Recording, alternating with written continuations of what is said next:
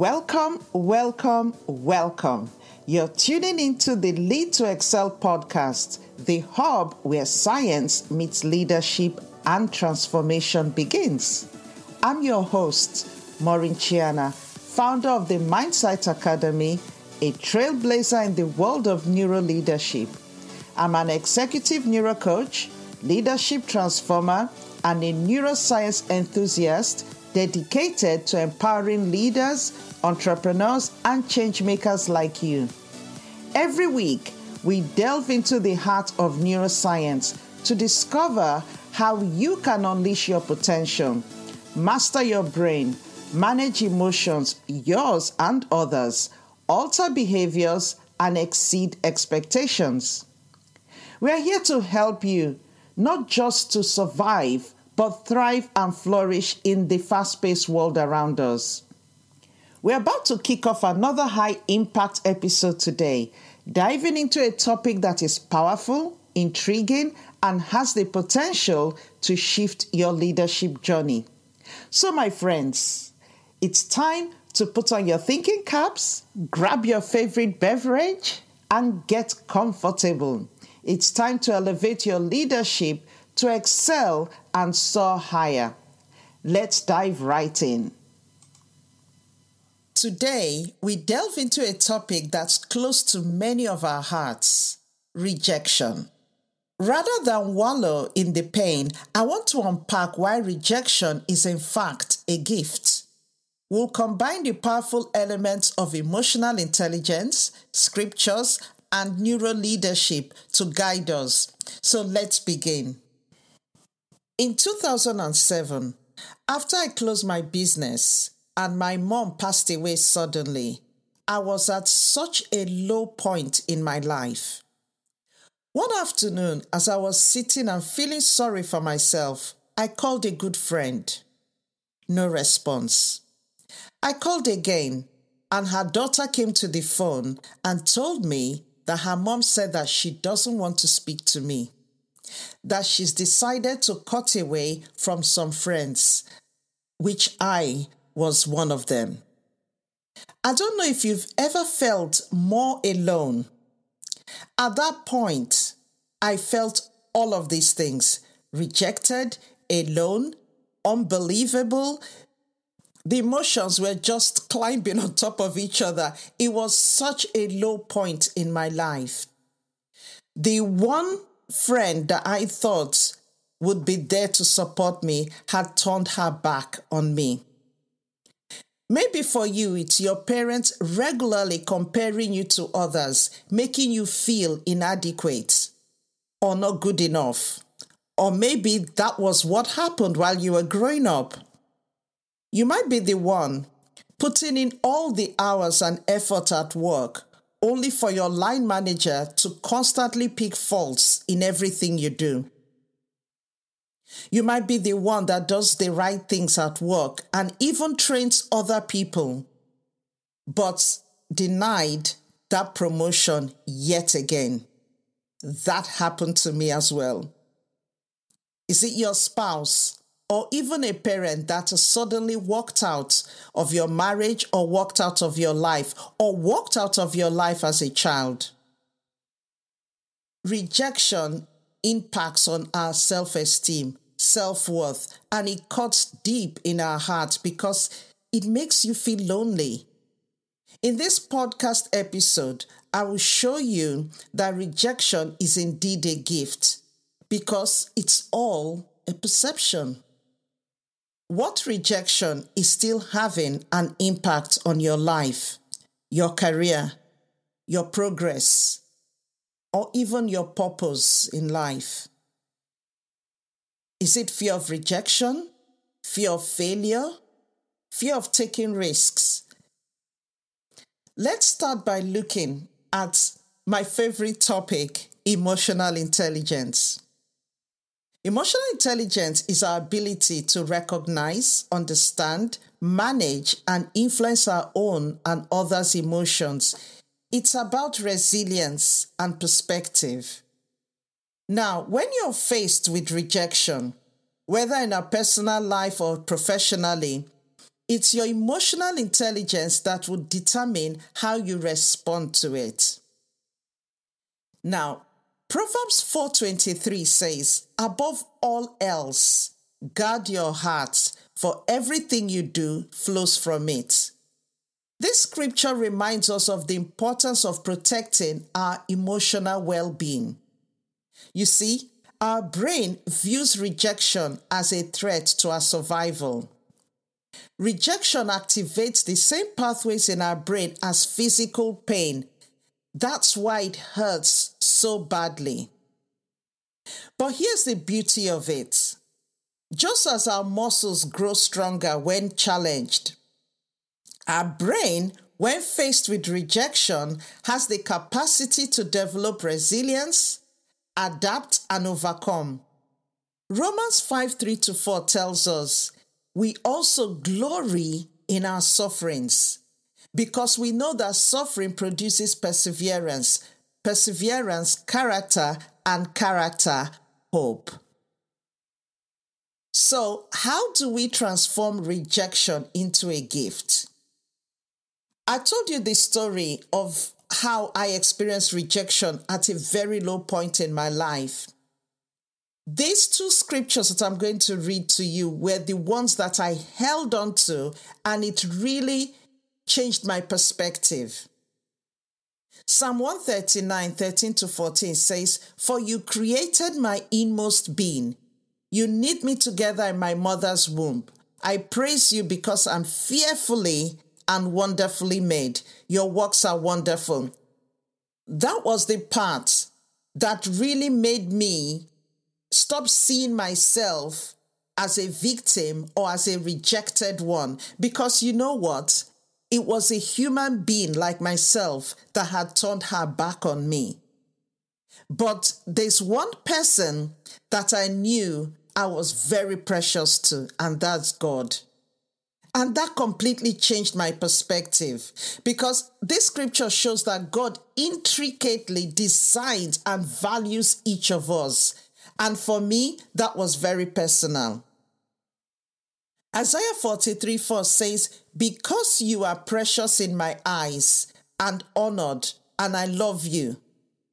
I am precious in God's eyes. So, yes, somebody might feel that they don't care about me. That's absolutely fine because the most important person to me, my Father, God Almighty, treasures me.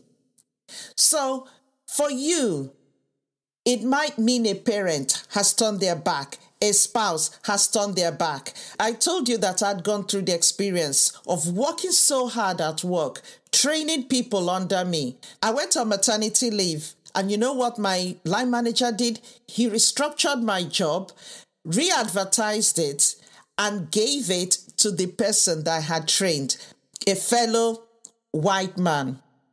I felt so rejected at that point. But I used that situation to propel me to reevaluate what I wanted to do. And that was the point I decided to open my own business. I left the company. I went back after maternity leave, did my three months, and left. And leaving and setting up the business is what has gotten me to where I am today, doing what I love so much, really being able to impact so many other people. So it was painful at the time, but it was truly a gift. The same thing with that friend that rejected me. It became a gift for me because now I don't put my hope in human beings. My hope is truly in God who will never fail me.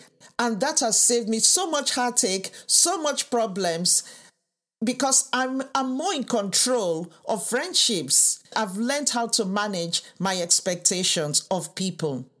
Another thing that, that truly helps is accept and allow yourself to feel.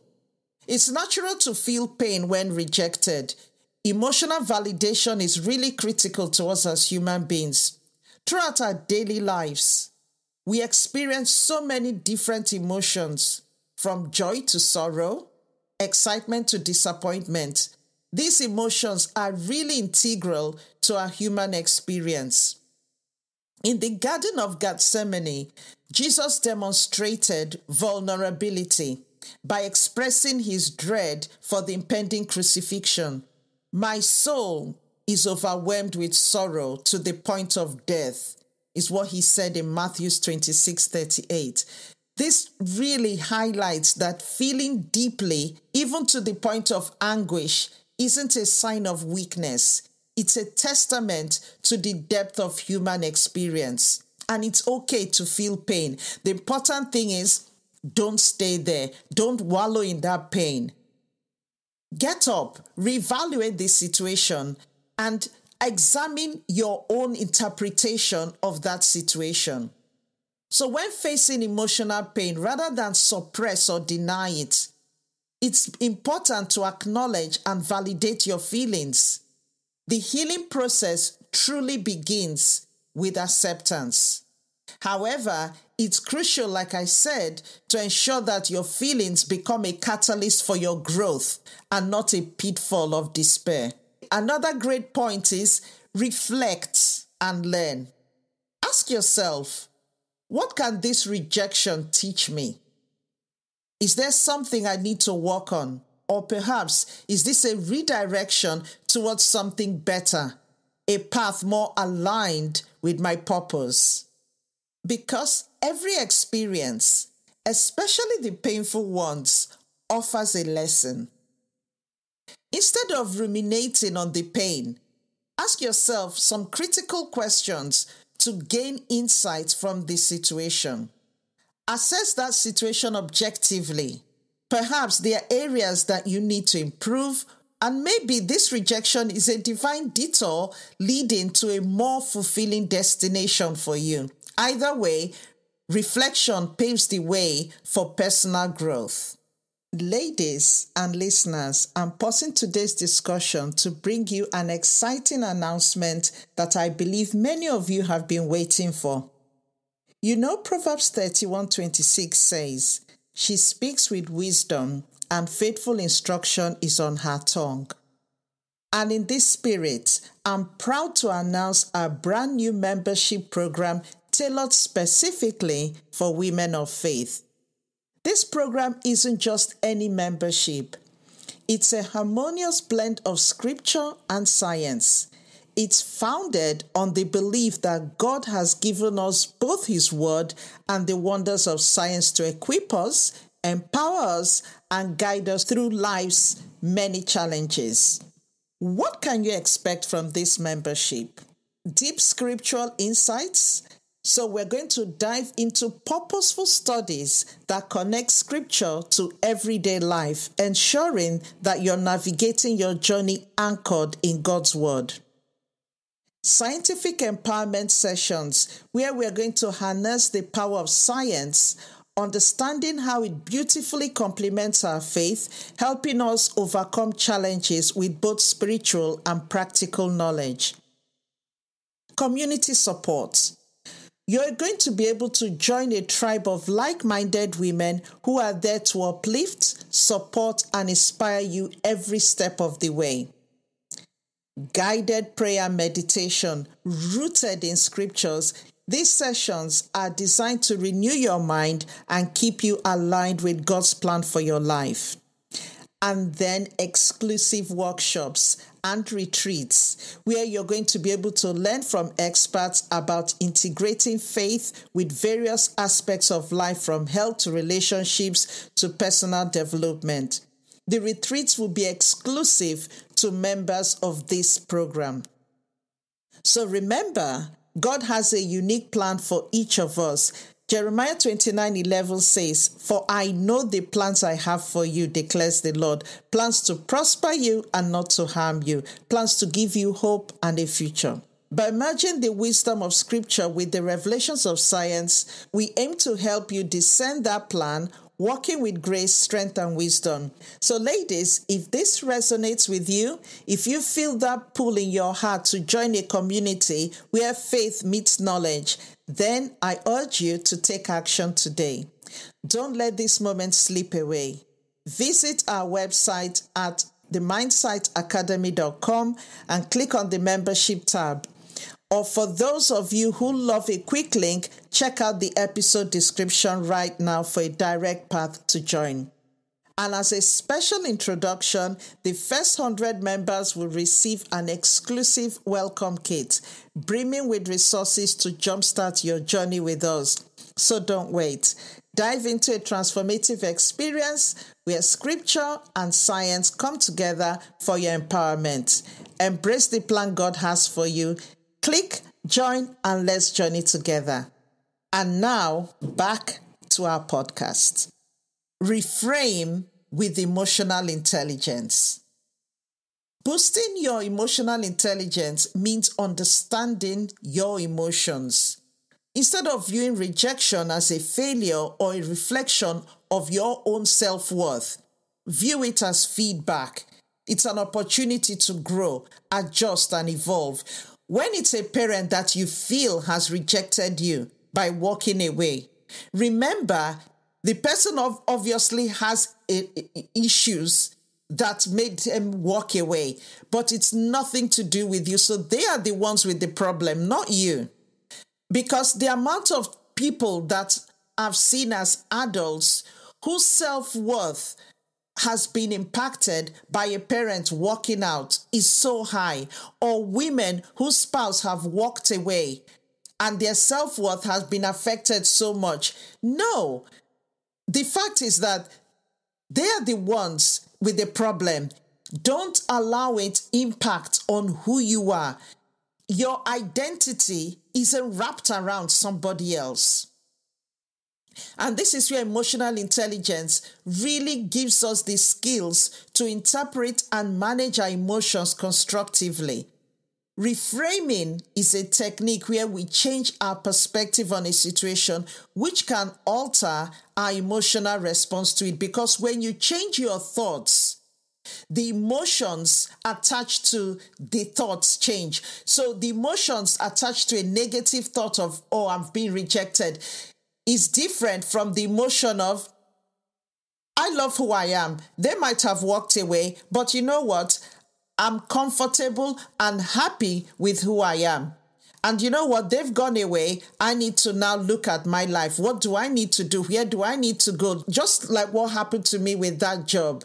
It made me reevaluate and rethink what can I do with my life now? And I changed course. Truly, like I said, was a gift. Or the friend that walked away. That's fine. I don't even need a friend like that in my life. And it's it's really helped me over the years with friendships and expectations. Joseph in the Bible, we all know the story of Joseph. After being sold into slavery by his brothers and later rising to power in Egypt, reframed his own painful past by saying in Genesis 50 20, You intended to harm me, but God intended it for good. This shift in perspective reflects high emotional intelligence.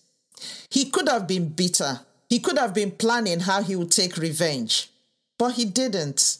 And the honest truth is, he was free. They're the ones that probably kept feeling guilty. So rejection can be reframed from a mark of inadequacy to constructive feedback. So instead of internalizing the rejection, view it as an external pointer to guide your personal or professional development. Meditation is another powerful tool that is that helps with rejection. Scripture provides timeless wisdom and solace. For me, meditating on scripture enabled me to internalize these truths and being an anchor for me in times of turmoil. Jeremiah 29 11 says, I know the plans I have for you, declares the Lord, plans for welfare and not for evil, to give you a future and a hope. This verse is a potent reminder that despite current circumstances, there's a divine plan ensuring my welfare. So, honestly, no matter what situation it is, as I go back to this promise, it re energizes me and gives me ability to get up and go after falling. So, incorporating scripture meditation into your daily routine will enable you embed divine truth into your heart, equipping you to combat feelings of worthlessness or despair with reminders of your divine worth and destiny. So, remember that rejection isn't the end. It's merely a turn in the road. It's an invitation to grow, to evolve, to come closer to your true self your divine purpose. So the next time rejection knocks on your door, greet it with grace, wisdom, and the understanding that it is indeed a gift. Thank you once again for joining me, and I hope this has brought comfort and insight into your life. May we all continue to grow in wisdom, emotional intelligence, and understanding. We've gotten to the end of another enlightening episode of Lead to Excel podcast. Thank you for spending your valuable time with us today, diving deep into the intriguing world of neuroscience and leadership. Remember, the journey to personal and professional excellence is not a sprint, it's a marathon. And every step, no matter how small, brings you closer to your goals. If you found value in our conversation today and it sparked insights or even questions, I invite you to share your thoughts with us. Join our community on the Mindsight Academy. It's called Limitless Leaders Community, where we continue the conversation and share valuable resources to help you lead and excel. Please also consider leaving us a review on Apple Podcasts, Spotify, or wherever you listen to your podcasts. Your feedback not only helps us improve, but it also helps others find our show. Sharing is caring after all. Lastly, don't forget to hit that subscribe button so you never miss an episode. We have a treasure trove of insights, inspiration, and expert advice coming your way in every episode. And trust me, you won't want to miss a single one. Thank you once again for tuning in. Until next time, this is Maureen Chiana, reminding you to keep exploring, keep learning, and keep leading to excel. Stay safe, stay motivated, and let's live a life of no limitations because, after all, you are limitless.